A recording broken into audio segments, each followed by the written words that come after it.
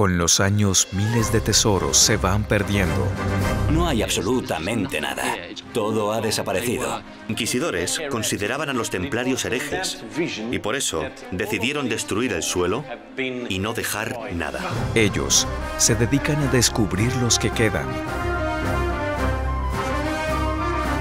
Tesoros perdidos. Miércoles 11 pm en HITN.